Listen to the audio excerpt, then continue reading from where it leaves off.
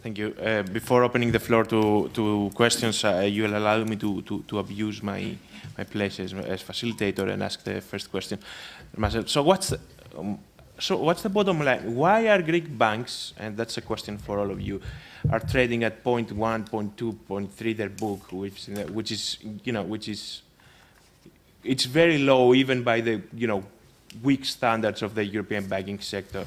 Is it because they're afraid, investors are afraid uh, uh, we're going to see a deja vu of the Greek drama we saw last year?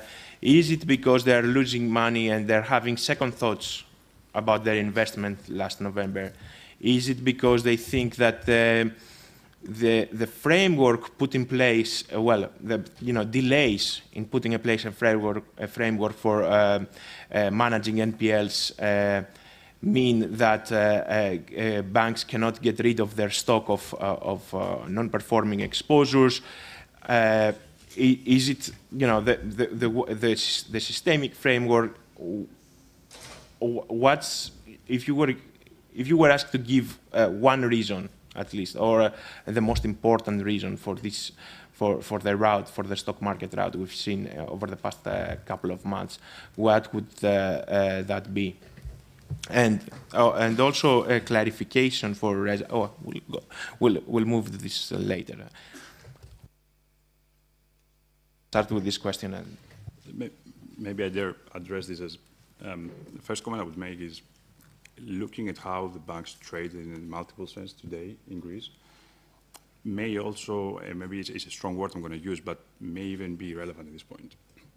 A, because of the significant macro risks still ahead, at least in investors' perspectives, but I think more importantly, in a point that covered, was covered before, because the very thin liquidity in the trading of the, of the stocks. So um, I think the, the, valuation we see today is a valuation that is not driven by the fundamentals. At least uh, to, to, uh, that's my perspective. Um, it's mostly driven by, as I said, the, the, sentiment, the market sentiment, the macro sentiment, and also um, the big institutional investors, given the very thin volumes, it's very hard for them to take a position um, or adjust positions according to the fundamentals. So that, that, I think that's one key fundamental um, factor. I think maybe maybe uh, you know another attempt here. Uh, in terms of in terms of the actual price to book multiple, you know, it has a bit contracted, but it hasn't really changed that much compared to uh, where you know where the where the recapitalizations happened, and simply the weight of the of the capital that was sort of taken on board had just sort of um, resulted in, in fairly in fairly low um, price to book multiples, uh, around 0.3 times book. And um, you know, some, I would say at least three of the four banks are trading, you know, maybe slightly below that, but it has not, it has not that substantially changed relative to, to their book values. I think what we are seeing here is number one, what was said before, return of equity versus price to book. That's still a regression that holds um, within the banking sector as the key as the key valuation metric. Um, and when we actually look at the Greek banks, you know, compared to other banking sectors in, uh, in Europe, but also in, in, in, in Central Eastern Europe, um, actually, uh, and we draw a regression line of the valuation of, the, of, of these banks, price to book versus return on equity.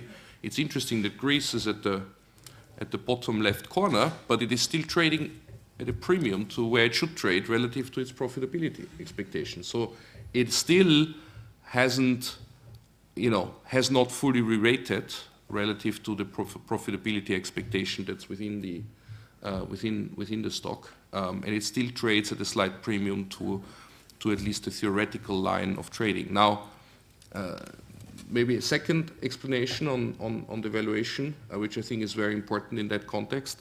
Um, I think whenever there's uncertainty, um, you know, the higher risk assets are being sold off first. And I think what I said in the beginning about, you know, the high proportion of um, um, uncovered, um, uncovered non-performing assets, I think that ultimately intro introduces significant risk. And that significant risk reflects, is reflected in the discount. Does Greece trade completely decoupled from other peripheral banking markets? No. I think when we look at you know, the 0.3 versus maybe 0.5 in other markets. You know, you can buy some very large uh, European banks, I have to say. Um, not, not to mention the name now, not to, I don't think we have anybody from that bank on the, on the panel, but I mean, they trade at 0.3 times book as well. Yeah, you can buy today um, a very large global, uh, global investment bank at about the same price to book multiple. I think, I think we've just seen a massive re-rating of the financial stocks because they are the most riskiest asset and the highest beta asset in the market. Thank you, Alex. So not a buy recommendation then.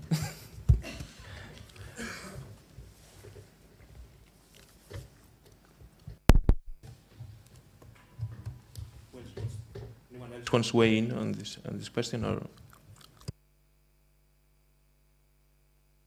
Before opening the floor, just a, a, a, a clarification from Reza. So, so you're saying uh, the weakness in, in, the, in the banking sector in Europe is just a, um, it's just a, uh, um, uh, due to, to low growth rates, and that's it. It's not some sort of uh, uh, uh, uh, uh, central bank induced uh, distortion um, and uh, an outcome of the you know negative interest rates environment that we're living in. It's just that growth is low, banks aren't making that much money, so their shares are not doing very well. So, and that's it. So a simpler story that what we've been hearing lately. I think, you have probably simplified it too much, but uh, um, I think at the crux of the matter is the low growth, but I think then you have to ask why do you have low growth?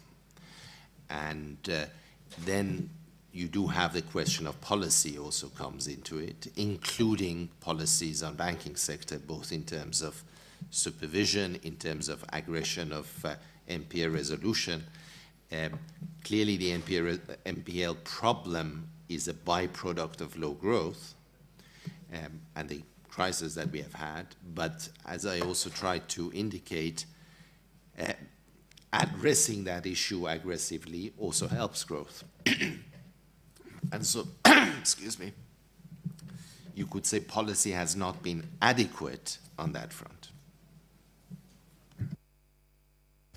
Right. I open the floor to questions.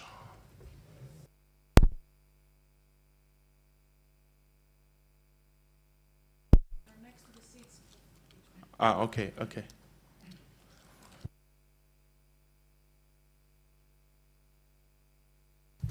Mr. Hardouvelis.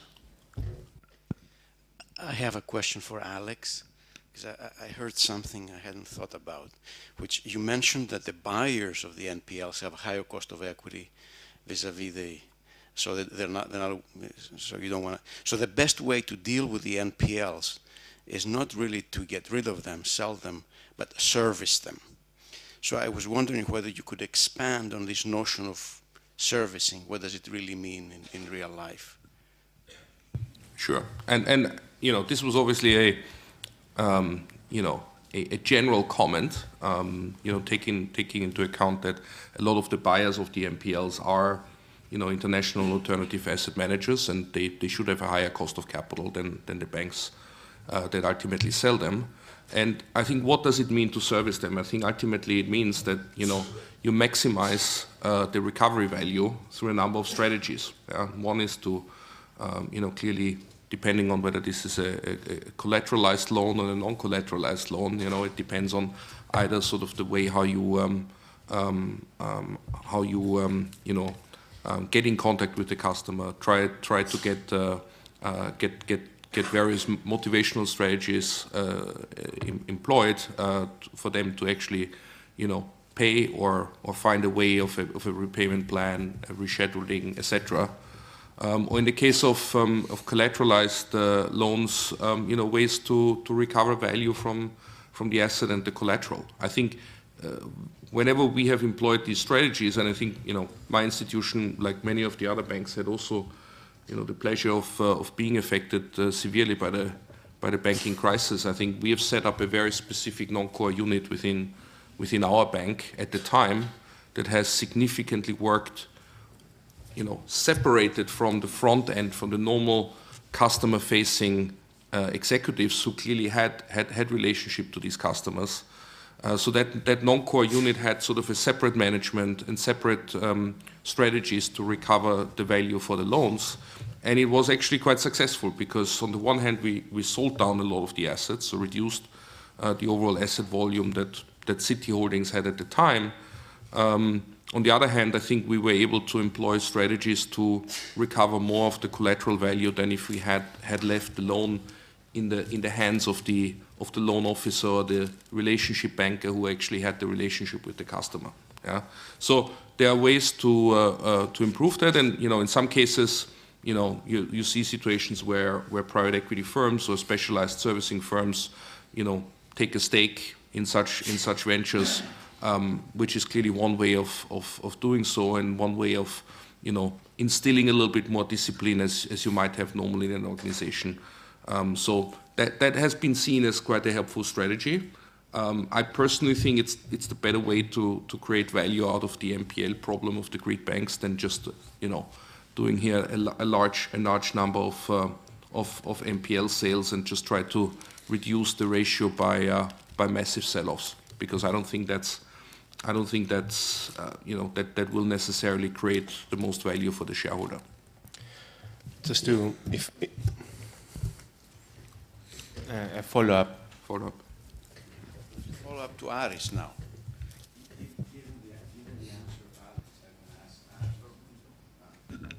Okay. Given the answer that Alex gave, I, I, I want to go to the regulator now. Uh, perhaps you don't know it, but the strategy in Greece was exactly to do this. I mean, each bank has its own separate unit that deals with the NPLs, and it, it's separate. Uh, so, so, so uh, the question then is, how come uh, for three years now we have done, we have sort of started doing the strategy that Alex is proposing, yet the system is stuck and nothing is, nothing is done with the NPL issue. What's wrong? What should we do? Or is there something more along Alex's lines that we haven't done? At first, I have to make clear that we're not the regulator. Uh, we're just a humble, uh, you know, unit trying to restore confidence in the market. And, um, well, I think, I mean, it, it's a valid point uh, to make. Um, uh, the way I see it, it's, it's, it's more of a concept issue. Uh, you cannot ask people providing credit for the last 20 years in their lives, those same people to retrieve credit back from the people that they have been in relations with. They need to have a different mentality, different expertise, different approach, different tools. Um, and I think by, by having you know, independent services coming in the market, what you manage to do is you know, to, to, to inject expertise and knowledge in the market and at the same time to avoid moral hazard. It's a different story if the bank itself, A, B, C, D, going to the client. A different story is someone which is, you know, international player coming to the market, addressing the issue. Uh, I think it's more distant, so it's going to be more effective. And any kind of modifications or changes or, uh, you know, restructuring place uh, can have a better impact than just uh, staying in, in, the bank. And as I said in, in my introductory comment, I think it's, it, it's very important, not per se, but the actual, because of what I have been described, but actually it's more important to set a benchmark in the market and uh, get the banks and to some extent the independent providers coming in and you know, uh, defend themselves and uh, evaluate themselves on, on those specific uh, performance, uh, you know, uh, benchmarks and criteria. Reza wants to weigh in. Think you're raising a very interesting issue here, and I cannot resist the temptation but to come in. And this is an issue on which my views have evolved since I was in the public sector and, uh, and uh, now having seen some of the practice in the private sector. The, um, and the, my background on this goes back to the Asian crisis, the, you know, the, the, last severe global crisis we saw where NPLs went up a lot. And uh, you know, so the, the, experience since then in the public sector or, or at the IMF where I was, uh, the mantra was there are different ways of resolving this. It can be done through an AMC, it can be done on balance sheet, but a lot depends on the governance structure, on the policy momentum, and on willingness of the political system to accept change. And so there is not a, you know, the mantra was there is not a simple way, there is not a prescribed way on balance sheet, off balance sheet, or different countries have succeeded in different ways, but also different countries have failed in both tracks. What, what I've seen uh, since I went to the markets is something, uh, I saw the Irish uh, example and to some extent the Spanish example, and I, sort of my views have evolved somewhat, and let me, let me explain why. Um, I think sometimes it is easier for a resolution to be reached when the assets are outside the bank. Why? Because the bank has rules, different clients who would demand the same treatment.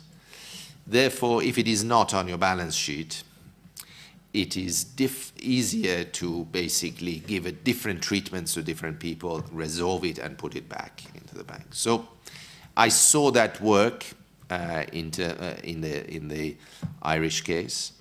And I also, what I saw was the initial recovery values were pretty low. And so it created political heat. So the system has to be able to take that heat. And then later on, the recovery values went up and up. And uh, this was the part of what I was saying that the, the recovery and resolution of NPLs reinforce each other if, if you do them. So I think taking into account the politics of the situation and the size and the difficulties, you know, I can see why people have different views, uh, but I think there is something to be said to separate the politics. Ms. Xafa. A question for Mr. Xenofos. Can you guide us through the trade-offs involved in the modalities of the recapitalization? Uh, specifically, what were the trade-offs between trying on one hand to minimize state aid and on the other minimizing the dilution of existing shareholders? So after banks tried to raise as much as possible from private investors, after the equity offering and after the bonds were converted to equity, any residual capital needs were uh, filled through the Hellenic Financial Stability Fund, uh, through CoCos on one hand and through equity on the other. CoCos to equity 75%, 25%. Who decided on these proportions and on what basis? Well, who decided on what basis? it's a very difficult question, by all means. And believe me that, I mean, being an outsider, I'm not referring to you, I mean, uh, I'm referring to the market, that looking on the latest recap and on the terms of the recap, believe me, you cannot imagine night and numerous discussions we had with the banks, with the Commission, with the Bank of Greece, with all stakeholders in order to make sure that we have a framework that will minimize the state aid because that is translated effectively in minimizing the Greek debt and eventually minimizing the burden to the taxpayer. But at the same time, we need to make sure that we attract uh, private investors in a very challenging period of time. Let me remind you that um, the review has been open and still is. Um, the appetite of uh, the investors, as my colleagues have shared with us, have been rather poor. And um, there has been um, uh, very uh, strong reservations if eventually we will manage to, to, to attract even the capital that we did. And just to take a couple of steps back, when, because we have to keep in mind that when we design the restructuring, sorry, the, the recapitalization framework, we do that without being able to identify the actual needs of the banks. In the beginning, there was that, you know, expectation, uh, rumors, you name it, uh, that um, the total size of um, the capital shortfall will be something like between 20 and 25 billion. So you imagine it's a different story designing a framework, a structure, uh, knowing the variables, and a different story by not knowing and having to resolve and solve on the issues of attracting as much private capital as is possible, and at, this, at the same time reducing the, the, the risk for the state. Um, I believe the way we have designed that, um, it's the right way. Of course, future will, uh, will somehow prove if we're right or not. Uh, as we speak, seems we're right, in the sense that um, we have reduced the downside risk for the state. Um, we have managed to make sure that at some point in time we're going to take back what we put, in the sense by, and I'm referring to the, to the bond component on the COCOS, because this is an obligation of the bank. It not relates to the market conditions, it not relates to, to, to, to, the depth of the market, doesn't relate to the actual price levels of the equities, which has been, you know, one of the issues that need to be addressed in the past. Um, and also, we need to make sure to understand that, sorry, to understand and keep in mind that in attracting capital, we have to abide to specific regulations and communications. Uh, there has been a specific guidance, specific communication by DG COMP, because we're referring to state aid, and any state aid needs first to exhaust any kind and every kind of capital, of private capital, um, because this is competition what it's all about. Um, and also keep in mind that um, we had to address that issue in, in a very short period of time because if we had delayed and we were, for example, facing that challenge as we speak, believe me, one or two banks have gone, would have gone in resolution. And you can imagine what would that imply for the Greek banking sector. So all in all, I think that we did well. Of course, future will prove ourselves, but I'm confident.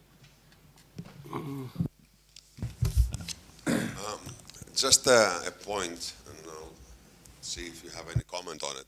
One needs to realize that there are three major constituencies in the banks. The one is the shareholders, the second constituency is the bankers themselves who don't want to lose their jobs, and the third constituency is the banking system and the Greek economy. My feeling is that the shareholders and the bankers themselves somehow colluded to make sure that the capital increases would be the minimum possible so they will continue to control the bank themselves. So my feeling was this third recapitalization was not adequate and the reason that it was not adequate was people did not want to have government entities get into their um, feet. Also, my also feeling is that the Bank of Greece supervision of the banks has been at least pitiful.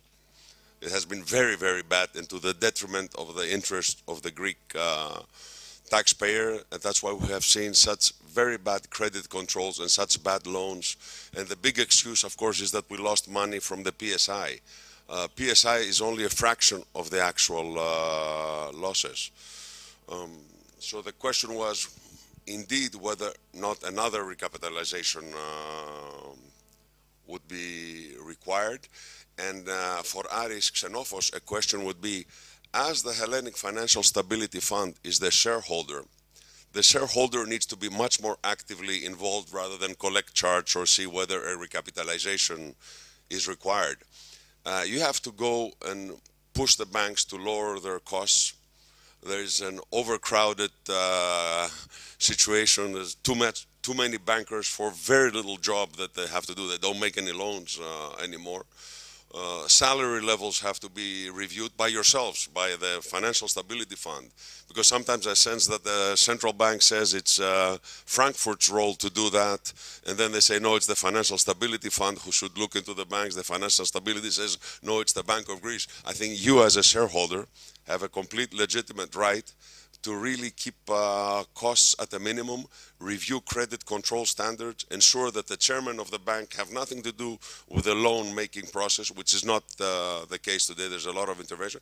And this is something you should audit personally yourselves and not expect anybody else to do that job. Any comments on that? So, so should you be more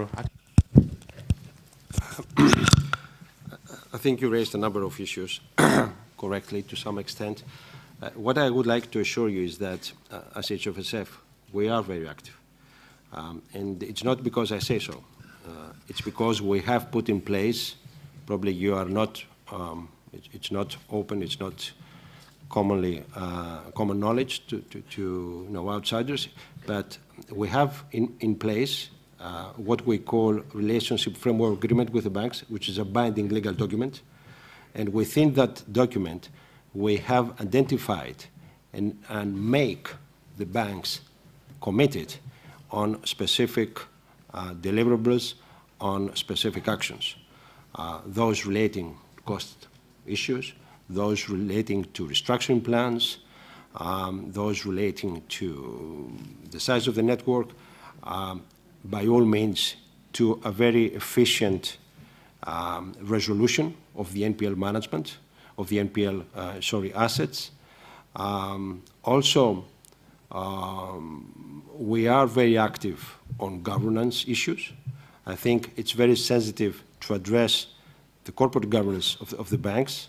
Um, it's very clear that as we stand now, there is a need to have a board and committees that will not only have the adequate expertise and the knowledge to address the huge challenges that we're faced, but to be efficient and be, be, be proactive and be very decisive. And to that respect, um, we have a specific uh, commitment taken, and we're going uh, by the end of first half uh, deliver a review uh, on the board of the banks and the committees, and um, I'm sure that as we stand now, uh, we're going to see, experience very uh, strong changes in the management of the banks. Uh, I have to give a credit to the management of the banks that to some extent they have already initiated changes, but all in all, um, standing from the side of HFSF and having the luxury uh, of having a better picture on, on, on the full market, I would say that by all means, we're going to see changes, quite, quite a lot of changes in, in, in the financial um, market as far as the corporate governance issue is concerned. Thank you. Maybe I can have a point on, on, on, on, on Yes, sorry. sorry, Please, on go the ahead. capital raisings. I think, you know, I mean, without going into the details, obviously, you know, things may go, you know, extremely bad and, and, and you may end up having capital calls, but but in the end of the day, I think what you need, if you need the basic stats, you know, Greek two of the four Greek banks at the moment, for instance, the systemic ones are at 70, percent cash coverage against the, the bad loans, meaning, you know, effectively the only thing that they are exposed still it's, it's the, this 30. Then you have on top of the 70, you need to add the collaterals. The collaterals are after haircuts, after significant haircuts, because the haircut is effectively how they calculate their provision. So it's a, it's a test, it's not the reality uh, they are all around 120%.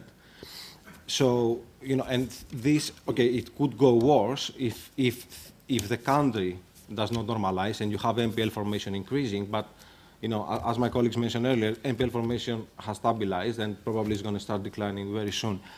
And, uh, and, and, the other thing is that you don't have any other assets really that can cause, you know, such a big trouble in the Greek banks other than the NPLs and the deferred tax credit, which, you know, something that I did not mention earlier, simply because, you know, it, it's a pan, it's a pan, you know, European issue. I.e., if, if, if they want to solve it in Greece, they need to solve it in the periphery, uh, Iberia, etc., in Italy. So, you know, and ECB has repeatedly said that, you know, the deferred tax credit legislation stays as is for now. Uh, so yeah, I mean, obviously you need to you can, you can you can make a lot of assumptions, but I think the base case, at least you know in my view, is is is the one I described. Yeah. Let me thank you for your crucial contributions. Um, I'd like to address my question to Mr. Uh, Moghadam, um, touching upon his uh, previous IMF experience and his knowledge on how IMF thinks and acts on this subject, and also to Mr. George uh, mainly from an international investor's perspective. the Greek banking is inextric- inextricably related to the future of the Greek economy, which is also linked to the issue of the Greek debt. Uh, the Greek government is ready, hopefully, after concluding the first review, to raise the debt issue. And uh, many Greeks feel that this is the fight that we have to pick, that this is the number one issue. On the other hand, there are many international commentators. I'll not take the example of Japonica and Mr. Kazarian because they also have an interest on investing in Greek bonds, and they say that the net asset uh, um, that the, uh, that- the net asset value of the Greek debt is something like 18%. I'll take a recent uh, study of Mainz University, a German uh, study which was published in the Brookings Institute, which claims that the level of the Greek debt was 98% between, before the second memorandum and something like 100 and 120 after the third memorandum.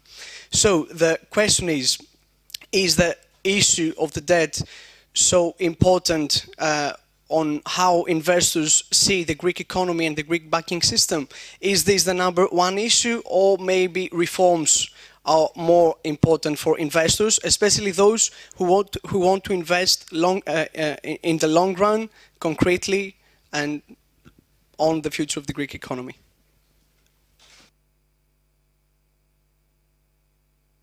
to say a few words. Uh, look, I think uh, reforms are also important, but uh, the uh, the debt issue is important from one perspective. Although I, I, I know from what you what you said and what I know, um, investor perspectives uh, differ, but um, ultimately the the debt is the debt overhang is a is a problem when you look at Greece and you want to uh, invest for the long term, because as long as that is there, the, the prospect of uh, uh, not succeeding and having to deal with, uh, with an exit will hang over the economy.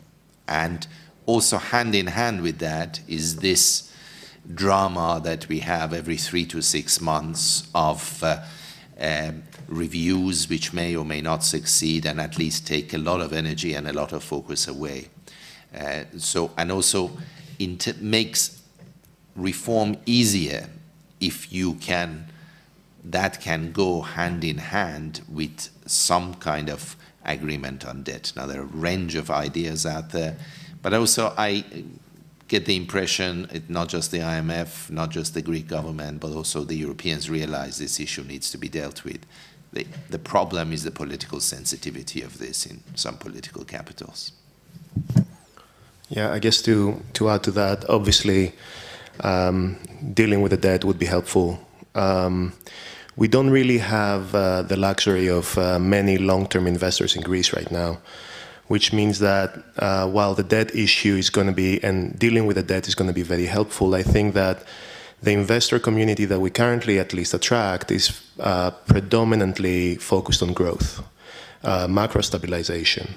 And going back to what my colleagues were talking about before with respect to NPL servicing platforms and so on and so forth, it is very important to understand that we have phenomenal competition as suppliers of NPL to the investor community. Uh, there is competition from the rest of the European countries. Um, these NPLs are larger. Uh, they're easier, easier generally to understand, resolve, and as a result, get a return on them.